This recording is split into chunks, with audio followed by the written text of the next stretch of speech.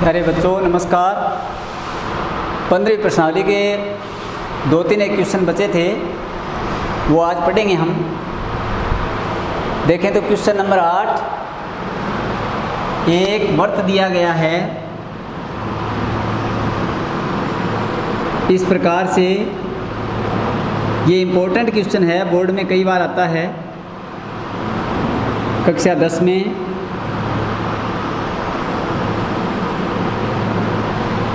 ए भी एक वर्त का व्यास है, वो उसका केंद्र है। ये एक त्रिभुज इसमें से काट कर निकाल दिया गया है बाहर। अर्धवर्त का कोण समकोण होता है, इसलिए हमें पता है कि ये कोण 90 डिग्री का होगा, क्योंकि ये अर्धवर्त में बना हुआ कोण है। ये जो भुजा है, ये दे रखी है छः सेंटीमीटर की, और ये इसकी भुजा दे रखी है आठ सेंटीमीटर की। और ये छायांकित भाग है आपसे पूछा गया है। ये बात। तो वैसे तो चित्र में साफ़ दिखाई दे रहा है हमें कि इसका इसमें कोई मतलब नहीं है। इस भाग का, इस वर्त का इसमें कोई मतलब नहीं है। साफ़ दिखाई दे रहा है कि आधा वर्त है। आधे वर्त में से एक त्रिभुज को काट करके बाहर निकाल दिया गया है। तो ये भाग बचेंगे और इनका क्षेत्रफल पूछा है। तो अर्धवर्त के क्षेत्रफल में से अगर हम इस त्रिभुज का क्षेत्रफल घटा दें तो ये छायांकित भाग का क्षेत्रफल आ जाएगा। लेकिन प्रॉब्लम ये है कि हमारे पास अर्धवर्त की त्रिज्या नहीं है। देखिएगा ए बी की लंबाई दी हुई नहीं है। ए सी और बी सी की लंबाई तो दे रखी है। लेकिन ए बी की लंबाई हमारे पास नहीं है। और ए बी वर्त का व्यास है। अगर व्यास की लंबाई नहीं है तो त्रिज्या का पता भी नहीं है। तो सबसे पहला काम तो हमारा यही है कि हम ए बी की लंबाई ज्ञात करें, ये हमें पता ही है कि ये समकोण त्रिभुज है, क्योंकि अर्धवर्त का कोण समकोण ही होता है, नब्बे का ही। ये समकोण के सामने वाली भुजा कर्ण है। तो कर्ण किसे कहते हैं कि समकोण त्रिभुज में 90 डिग्री के कोण के सामने वाली जो भुजा है, वो कर्ण होती है। तो ये कर्ण है, आधार और लंब हम इसको इसको मान सकते हैं।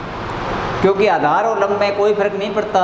आप इसको आधार और इसको लंब मान लेंगे तो भी कोई फ़र्क नहीं पड़ेगा सवाल में। इसको लंब और इसको आधार मान लेंगे तो भी कोई फ़र्क नहीं पड़ेगा। तो देखिए त्रिभुज ले लेते हैं हमें ए, बी, सी में। आधार मान लेता हूँ मैं इसका। छः सेंटीमीटर। लंब है इसका आठ सेंटीमीटर। और कर्ण हम ज्ञात करेंगे। तो कर्ण स्क्वायर बराबर सूत्र होता है आधार की स्क्वायर प्लस लंब की स्क्वायर ये पाइथागोरस प्रमेय है। जो आप आगे प्रश्नावली जो आएगी, ग्यारहवीं, उसमें पढ़ेंगे कि समकोण त्रिभुज में कर्ण स्क्वायर बराबर होता है, आधार स्क्वायर प्लस लंब स्क्वेयर तो आधार हमारे पास छः है छः की स्क्वायर हो जाएगी लम्ब आठ है, आठ की स्क्वेयर हो जाएगा छः की स्क्वेयर छत्तीस और आठ की स्क्वेयर चौंसठ। छत्तीस और चौंसठ हो जाएगा सौ, कर्ण बराबर हो जाएगा सौ का वर्गमूल, यानी कर्ण बराबर सौ का वर्गमूल दस होता है। क्योंकि दस गुणा दस सौ बनता है और जोड़े में से एक बाहर लेते हैं, इसलिए कर्ण आ गया दस। जैसे इधर से स्क्वायर हटेगी, इधर वर्गमूल का निशान लगेगा, क्योंकि वर्गमूल निकालना पड़ेगा और वर्गमूल आ जाएगा सौ का दस। यानी ये बी जो है हमारे पास, ये जो लंबाई है, ये 10 सेंटीमीटर आ गई। और ये वर्त की त्रिज्या इस 10 की आधी हो जाएगी 5 सेंटीमीटर ये जो अर्धवर्त है, इसकी त्रिज्या आ गई, हमारे पास पाँच सेंटीमीटर। अब इस अर्धवर्त के क्षेत्रफल में से इस त्रिभुज का क्षेत्रफल हमें घटाना है, फिर छायांकित भाग का क्षेत्रफल आएगा। तो देखें, छायांकित भाग का क्षेत्रफल बराबर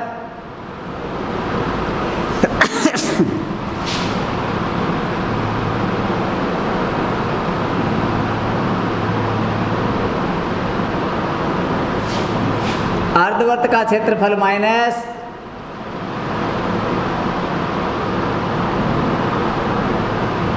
त्रिभुज का क्षेत्रफल।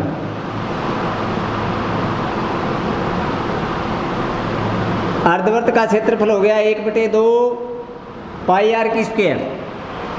क्योंकि पूरे वर्त का क्षेत्रफल पाई आर स्क्वेयर होता है, इसमें दो का भाग लगते ही अर्धवर्त का क्षेत्रफल हो जाता है। माइनस ये जो त्रिभुज है, ये समकोण त्रिभुज है और समकोण त्रिभुज का क्षेत्रफल होता है एक बटे दो आधार गुणा ऊंचाई।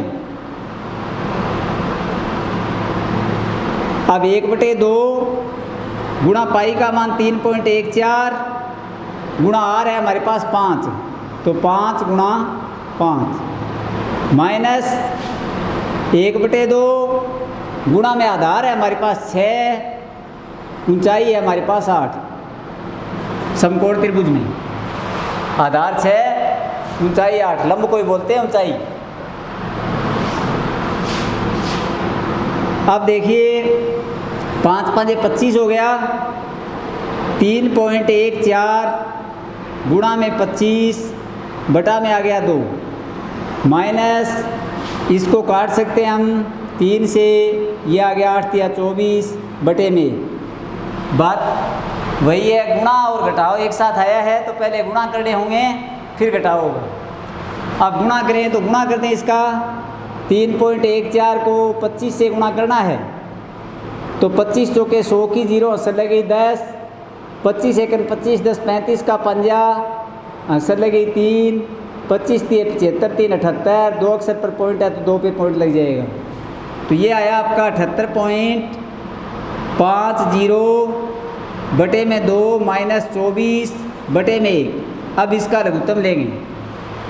तो दो का एक का लघुत्तम लें तो दोनों का भाग जाना चाहिए, ऐसी संख्या लघुत्तम होगी तो दो ही आ जाएगा। दो में दोनों का भाग जा रहा है। दो में दो का भाग देंगे तो एक आएगा। एक को अठहत्तर पॉइंट पचास से गुणा करेंगे तो अठहत्तर पॉइंट पचास ही आ जाएगा। माइनस एक का भाग दो में दोगे तो दो ही आएगा। दो को चौबीस से गुणा करोगे तो चौबीस दून अड़तालीस। अठहत्तर पॉइंट पाँच ज़ीरो में से अड़तालीस घटा दो।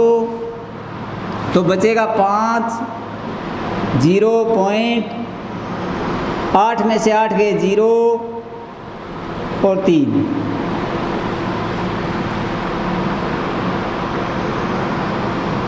इकतीस।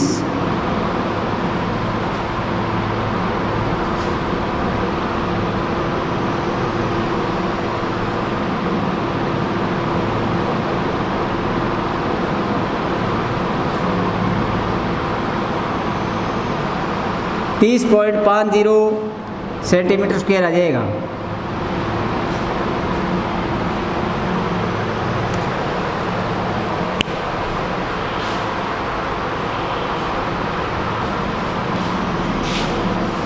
आगे देखें क्वेश्चन नंबर नौवा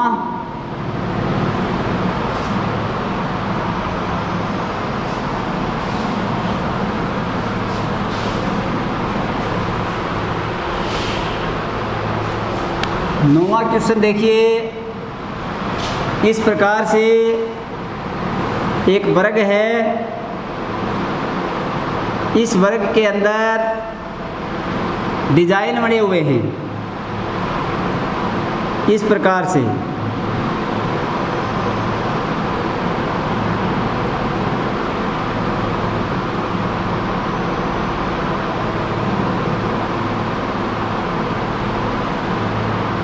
इन डिजाइनों का क्षेत्रफल हमें बताना है?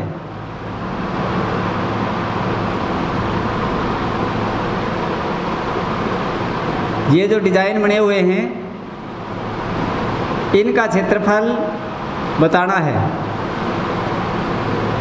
इस वर्ग की भुजा जो दे रखी है, वो है 10 सेंटीमीटर की।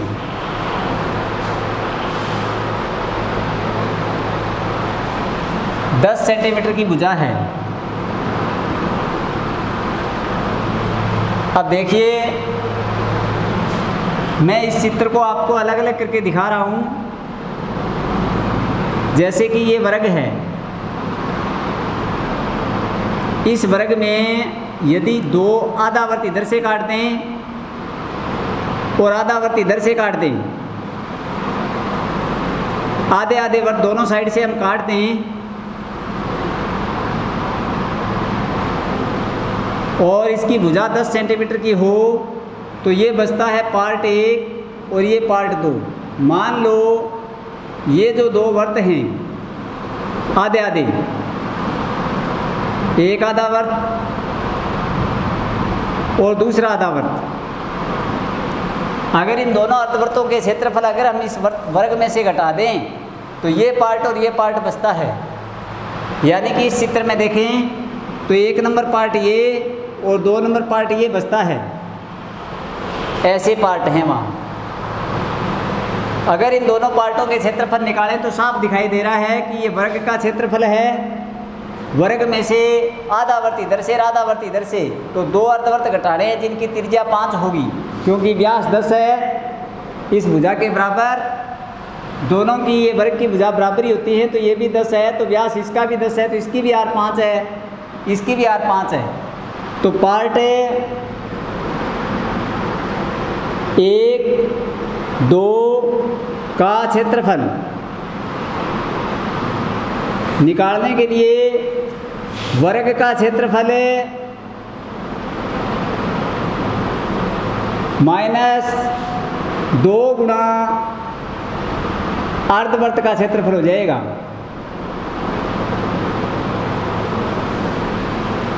तो वर्ग का क्षेत्रफल होता है भुजा की स्क्वायर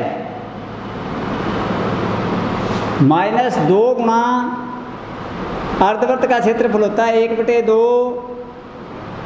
पाई आर की स्क्वायर अब इस वर्ग की भुजा है दस। चाहे इसकी मान लो, एक नंबर और दो नंबर पार्ट का क्षेत्रफल निकालना हो तो ये सेम ये सेम वहाँ पर भी है। एक नंबर और दो नंबर पार्ट का क्षेत्रफल निकलेगा। जब ऐसे वाले दो अर्धवर्त घटाएँगे तो दो से दो कट जाएगा भुजा दस है। दस की स्क्वेयर माइनस पाई का मान तीन पॉइंट एक चार गुड़ा में आर है आपके पास पाँच, क्योंकि व्यास दस है तो आर पाँच होगी, इसकी भी पाँच होगी। तो पाँच गुणा पाँच, ये दस की स्क्वायर सौ माइनस पाँच पाँच पच्चीस पच्चीस को गुणा कर दें। तीन पॉइंट एक चार से तो पच्चीस चौके सौ असल दस। पच्चीस एकन पच्चीस दस पैंतीस असल तीन। पच्चीस तीन पचहत्तर और तीन असल, अठहत्तर, दो अक्षर पर पॉइंट। ये मैं निकाल रहा हूँ एक और दो नंबर पार्ट का। इसी प्रकार यदि मैं चित्र दोबारा बना करके आपको बताऊँ कि ये एक वर्ग है। इस वर्ग में से इस साइड से दो अर्धवर्त घटा दें। ऐसे। ये अर्धवर्त और ये अर्धवर्त तो ये पार्ट बचते हैं तीन नंबर और चार नंबर। सेम ऐसा ही चित्र है। इसकी भी वर्ग की भुजा दस ही है, ये भुजा भी दस ही आएगी। तो आर इसकी भी पाँच ही होगी। पूरी भुजा दस है। और इसकी भी पाँच ही होगी। यानी कि पार्ट नंबर तीन और पार्ट नंबर चार का क्षेत्रफल निकालने की ज़रूरत नहीं है, क्योंकि जो एक और दो का क्षेत्रफल जितना आएगा, उतना ही तीन और चार का आएगा। क्योंकि सेम वही नाप है, वही आर पाँच है, वही भुजा दस है, क्योंकि चित्र तो एक ही है। इसमें इसकी जो आर है पाँच, वही है इसकी आर भी पाँच होगी, क्योंकि वर्ग की भुजा ये दस है तो ये भी दस ही होगी। इधर से जो अर्धवर्त आया, इसकी आर भी पाँच होगी इधर से जो अर्धवर्त गया उसकी आर भी पाँच होगी। तो कहने का मतलब कि जो हम पार्ट एक और दो का क्षेत्रफल निकाल रहे हैं, तीन व चार का निकालने की ज़रूरत नहीं है। तीन व चार का अगर मुझे निकालना है तो इसी को दो से गुणा कर दूँगा, क्योंकि इसी का दुगुना होगा ये ये दुआ मैं इसलिए लगा रहा हूँ कि इसमें दोनों पार्ट ये मिक्स है ऐसे। एक, दो, तीन और चार का निकालें तो ये दो के लिए अकेला था। तीन और चार निकालेंगे तो दो से गुणा कर देंगे।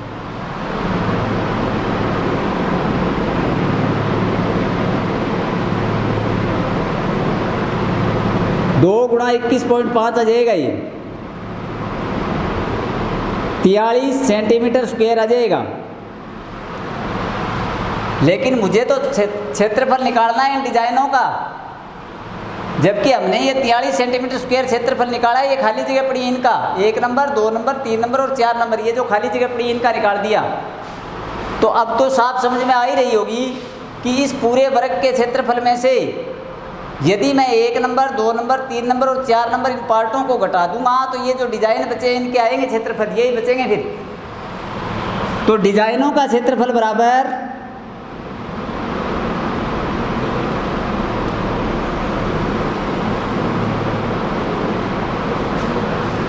वर्ग का क्षेत्रफल माइनस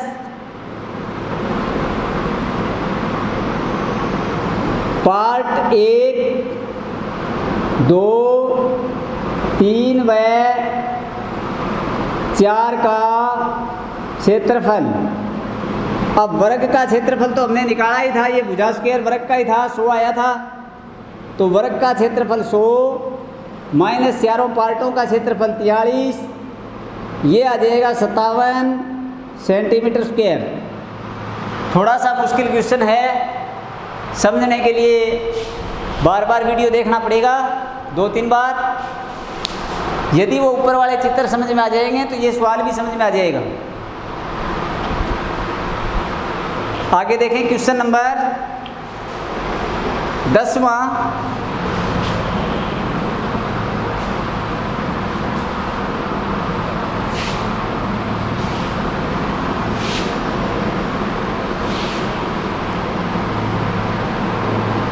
क्वेश्चन नंबर दस देखिए। इस प्रकार से एक अर्धवृत्त दिया गया है। इस अर्धवृत्त की त्रिज्या सात सेंटीमीटर है। इस अर्धवृत्त में से ऐसे एक वर्त काटा गया है।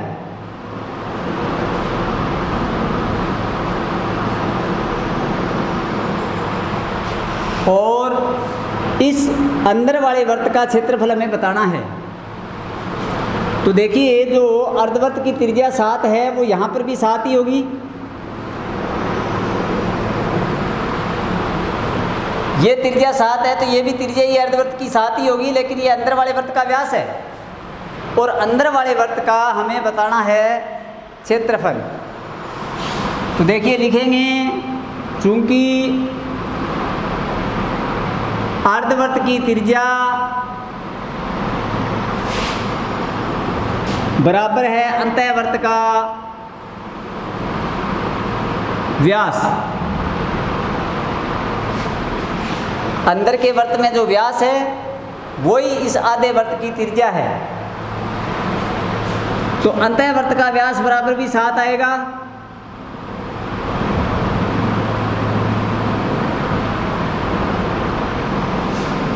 जो अर्धवर्त की त्रिज्या है सात वो अंदर वाले वर्त का व्यास हो जाएगा। तो फिर अंतःवर्त का आर कितनी हो जाएगी? आधी हो जाएगी। व्यास की आधी होती है त्रिज्या सात बटे दो। अंतःवर्त का क्षेत्रफल हमें ज्ञात करना है।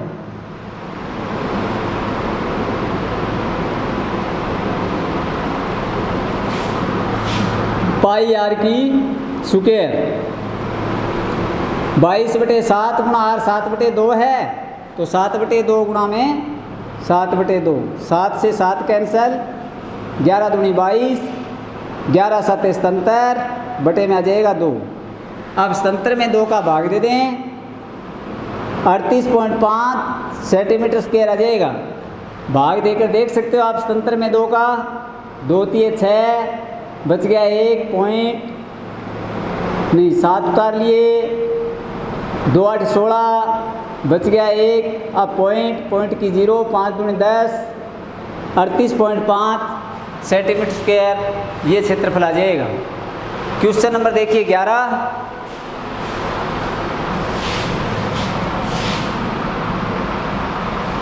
ग्यारहवा क्वेश्चन है हमारे पास।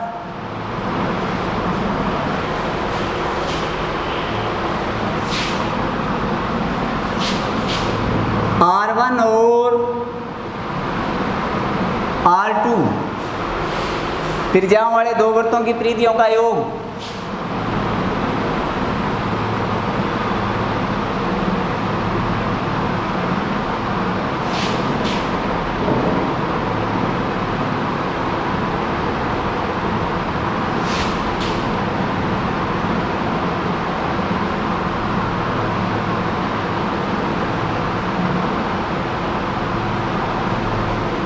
दो वृत्तों की प्रीतियों का योग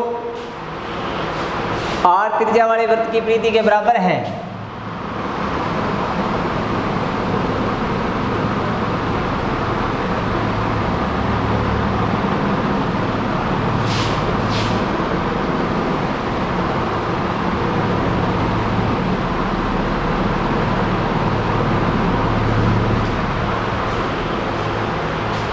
तो सही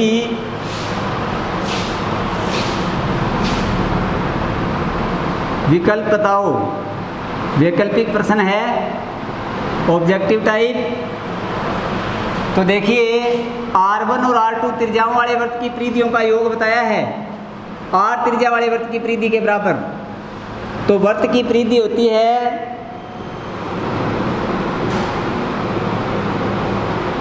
टू पाई आर लेकिन जब आर वन है तो आर की जगह आर वन आ जाएगी। Two pi R one plus R two है तो आर के स्थान पर आर टू आ जाएगी। ये दो वर्तों की प्रीतियों का योग कर दिया मैंने। इस योग को बताया है इसने? बड़े वर्त की प्रीति के योग के बराबर जिसकी त्रिज्या आर है। तो बड़े वाला वर्त जो है, उसकी त्रिज्या आर के स्थान पर बड़ी आर आ गई है। अब देखिए, टू पाई दोनों में है। टू पाई कॉमन ले लें। यहाँ से बचेगा आर वन यहाँ से बचेगा आर टू टू पाई दोनों में है, इसको बाहर निकाल दिया। यहाँ से आर वन बच गया, यहाँ से आर टू बराबर आ गया टू पाई आर अब टू पाई दोनों साइड है, ये कैंसिल हो गई। यानी R one plus R two बराबर आर ये ही सही विकल्प होगा कि R one plus R two बराबर होगी आर तो ये सही विकल्प आपके ऑब्जेक्टिव टाइप में दिया है ए भाग में। तो ए आ जाएगा। उत्तर। चार ऑब्जेक्टिव टाइप दिए हैं इसमें। ए बी सी डी तो ए भाग में ये उत्तर दिया है। ए भाग इसका सही विकल्प हो जाएगा। आगे क्वेश्चन बारह नंबर जो है, वो पहले करवा चुके हैं। बाकी देखेंगे हम अगले वीडियो में। तब तक के लिए इन वीडियो को देखते रहें